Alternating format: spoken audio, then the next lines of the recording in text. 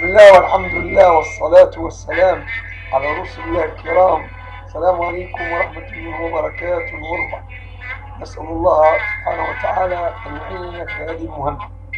وبالإجازة أقول من تصحيح بعض المثل. يقول الشاعر من ما اشترى أو مقولة البيت كما كما عرفت لم يشتر الناس ولا باعوا خيرا من الخبز إذا جعوا هذا شعر ما فيه شيء طرافة ونكهة على كل حال إحنا نقول هذا كلام عادة بنال. ما فيش ذوق لم يشتري الناس ولا باعوا خيرا من الخبز إذا جعوا لهذا سبق الحاجات المادية ونسي أن يذكر قبل الحياة الحاجات الروحية أو الفكر وهذا اللي خلى الأمة الإسلامية ليست أمة إسلامية.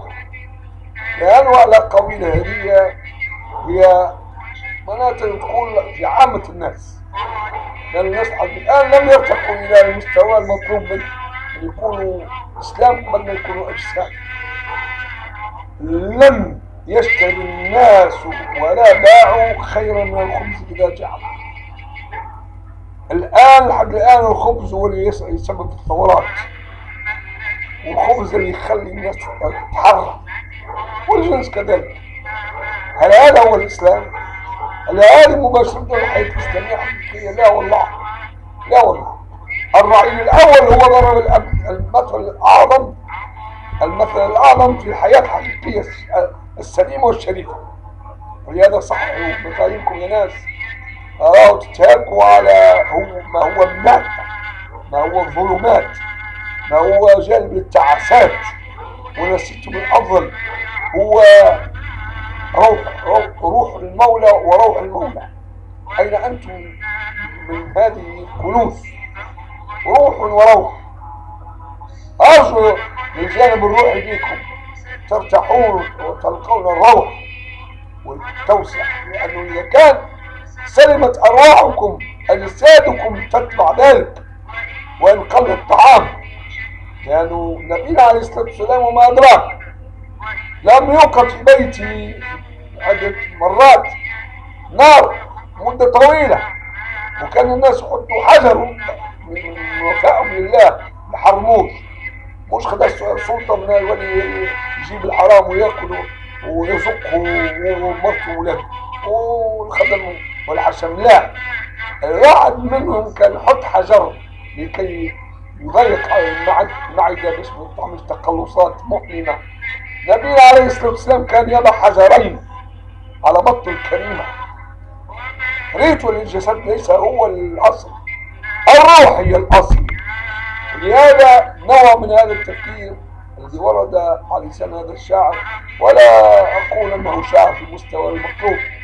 هذا النوع هذا لابد أن نقسمه ونرجعه إلى قيمته الحقيقية ونقول ليس هذا المطلوب منا أن نعتني به بل الاعتناء الأول هو أن نكون أحباب الله وأن نكون جند الله في كل ميادين قبل أن ننظر للبطون والفروج وثم التيارات الإسلامية عموما ليست مؤهلة باش تعالج الحال وقلنا علاش لكن نذكر في بيت كم لكن الآن أقول بيتا واحد. يقول الشاعر فيه وغير تقي يأمر الناس بالتقى. طبيب يداوي الناس وهو مريض.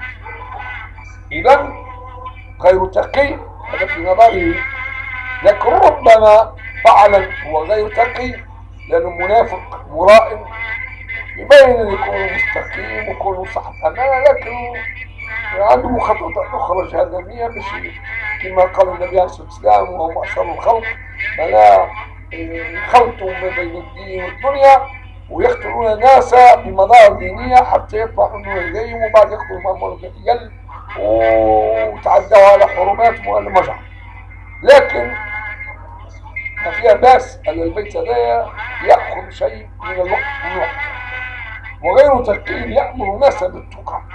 يعني هو مش مؤهل هو حتى إذا يروح بالتقوى هو بعيد عنها ومحروم منها وهذا الموجود في التيارات الإسلامية كثير من عناصرهم في هذه الحالة وغير تقي يأمر الناس بالتقوى. أو الإسلام أو شق الربي أو كيفاش حرام أو كيفاش حلل أو كيفاش أمر أو كيفاش نهى موجود. لكن هذا كلام نساو الجماعة التالية هذه الكلام هذا لا يفي بالحاجة.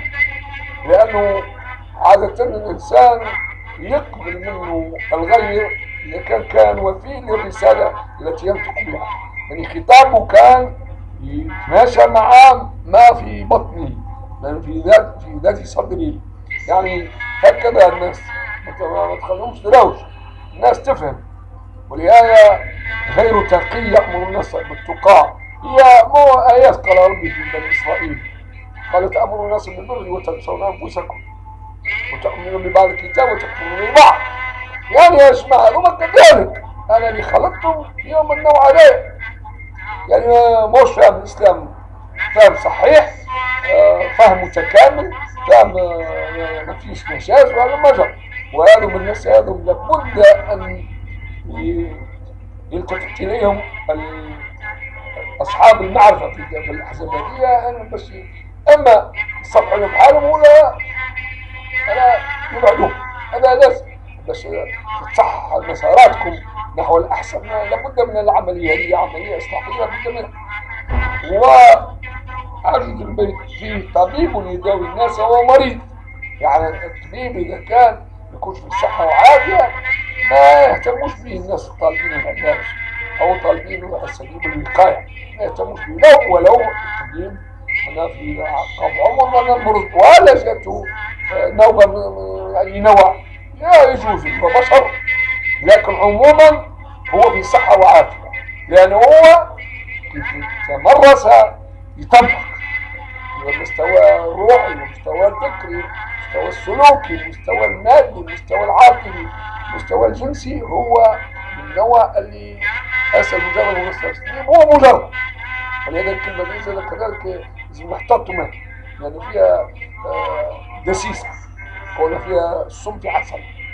على كل حال أنا اللي ننصح به الناس اللي فعلا يحبوا إصلاح الأمة هو لا يمكن لإنسان خالي من التقى واللي هو